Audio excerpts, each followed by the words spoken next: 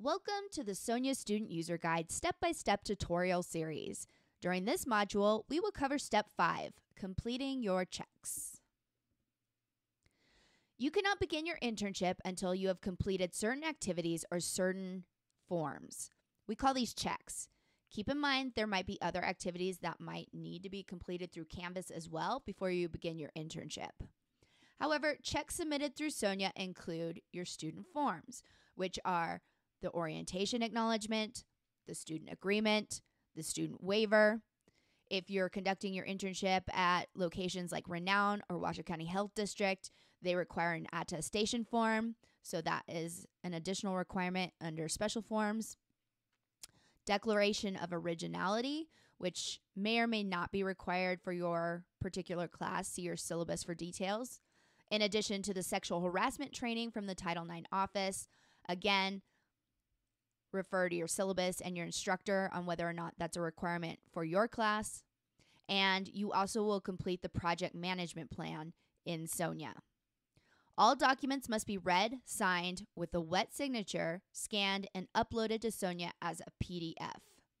As of now, we are not accepting digital signatures. Okay, so let's go to Sonia and see how we complete these checks.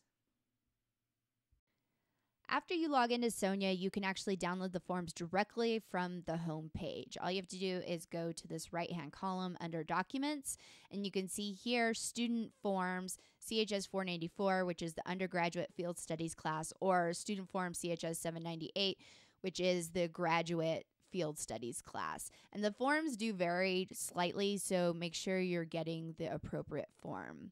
So just click the little caret there and you could see declaration of originality, orientation acknowledgement, student agreement, student waiver, basically everything you need to turn in and suffice your checks. The other thing I want to bring to your attention is the special forms, which I referred to earlier. If you are conducting your internship at Renown or Washoe County Health District, they have additional requirements before you can begin your internship, including certain immunizations, background checks, drug screenings, things of that nature. So I would definitely download that form and see what you have to do because you have to complete those items before you can even sign the form and then turn in the form to Sonia.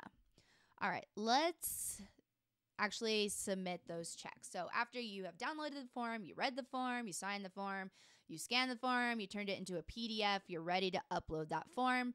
Click the checks tab. And you can see here is a list of all the checks that you need to complete before you can begin your internship. Um, let's look at this legend here where you can see the star means the check is mandatory, which all of the checks are mandatory here.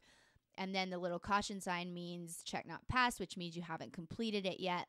Also, it's color coded. So if the box is red here, it means that you have not completed that check. If it's grayed out, it usually means that you have completed that check, unless you see the little not complete verbiage here in the upper right hand corner. And that means it looks like it's complete because it's grayed out. Yes, I switched the value to yes. I uploaded the document, but I forgot to press submit. So make sure you're pressing that submit button. And that's really to suffice the check. That's what you do. You change the value to yes. You press the little browse button, you look for the document on your computer, and then you press save. That fires off that check and it will be considered complete. Um, also, you probably already saw it when you were looking for your internship. Uh, but you can see here when you go to the placements tab that there's a big red box that says outstanding checks, which is a little alarming, and it gives you a, a list of all the checks that you haven't completed yet. Uh, when you start completing these checks, of course, the this list will get smaller, and then it, it will eventually go away.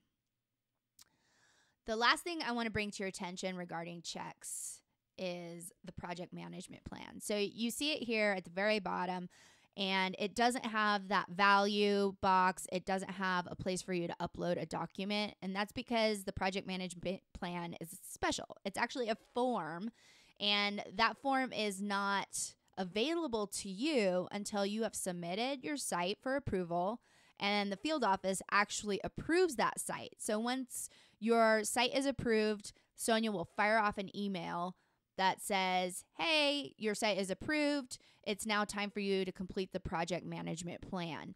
And then it'll give you a link for you to do that. But like I said before, you will not get access to that project management plan until your site is officially approved. I'll show you what that email looks like just a second. Once you have submitted your site for approval and the field office officially approves that site, you will get an email directly from Sonia telling you that our records indicate your internship site has been approved. Before you begin your internship hours, your project management plan or PMP must be completed and approved by your instructor. And you can see here it get, lists the forms that you have to complete. In this case, the project management plan, the date created, completed mine, completed all. So completed mine means the forms that you have to complete, which is zero out of one, which means you haven't completed. If you did, it would reflect one out of one. And then completed all means the total number of forms that Sonia says are under your account that have to be completed. And then a little link to editing your form. So when you click that link, it'll actually look like this. This is your official project management plan. As I said before, you will not have access to this plan until your site is officially approved.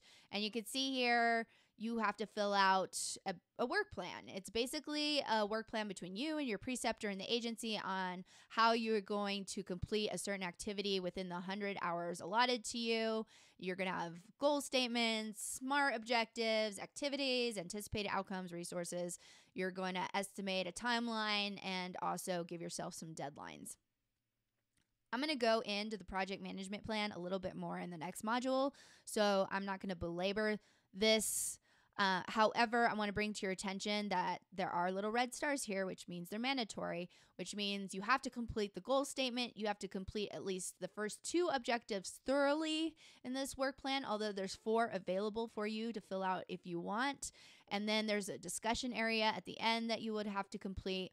You can save the draft if you're working on it over time, or you press the submit button if you want to kick it off to be graded so you can complete this check. Now, if you kick it off to get graded by your instructor, they approve it.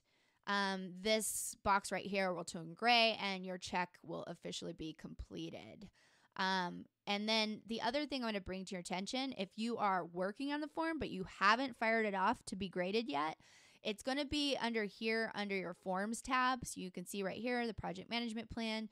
You just press that little red edit button and that takes you back to the project management plan so you can finish the work that you started.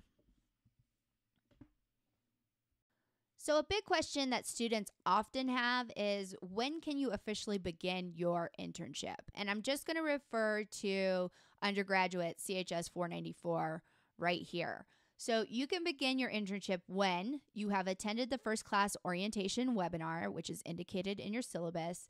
You completed the orientation quiz, which is in Canvas. You downloaded, read, signed all the student forms, or completed all your checks in Sonia, which include the orientation acknowledgement, the student learning agreement, the student waiver, the declaration of originality may or may not include the sexual harassment training. See your syllabus and instructor about that and then you submitted your internship site and it was approved by the field office and you submitted your project management plan and it was approved by your instructor. That is what you need to begin your internship officially. You cannot start accumulating hours until all of these items have been completed. Now that you know how to complete your checks in Sonia, now let's dip into the project management plan in a little bit more detail.